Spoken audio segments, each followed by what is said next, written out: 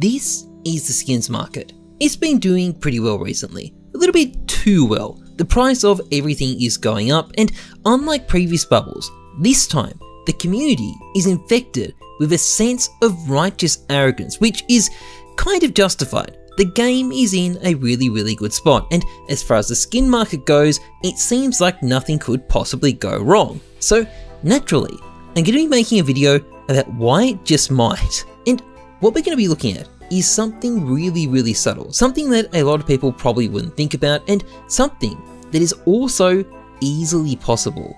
Is it likely?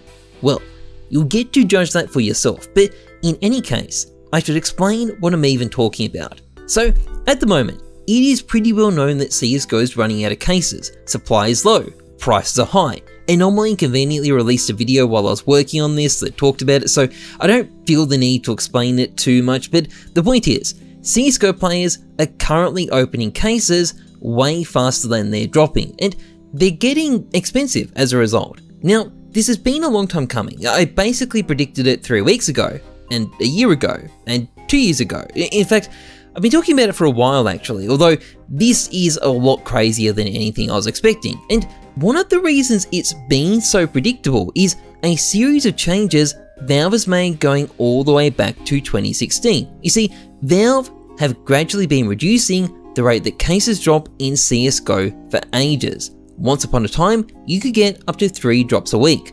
These days, it can be a struggle to even get one. Once upon a time, non-prime accounts would get older discontinued cases. These days, only prime accounts can get drops at all. And while cases have been getting rarer, demand for them has been getting higher, so much so that case farmers are now literally borrowing people's accounts to try and get extra drops. And when you crunch the numbers, assuming things stay the same, it is very obvious prices are only going in one direction, up. But are things actually going to stay the same? Valve has tinkered with drop rates before. What's stopping them from doing it again? Valve make $2.49 every time you open a case, but if you're spending a dollar to open that case, rather than like 3 cents like you would have in the past, well, that's $1 gone that you could have spent buying keys instead. At a very basic level, Valve benefit from cases being cheap, so they have an incentive to get case prices down. In theory, at least, they would make more money that way. But are they likely to try and force down the price of cases? The mechanics behind case drops aren't public and are poorly understood. Some people I've spoken to think they might have already increased the drop rate, which if they have, it's definitely not helping, and no one knows for sure precisely what's going on. And it's worth considering Valve may also have some incentives not to change things as well. Firstly, they're already making $100 million from cases a month.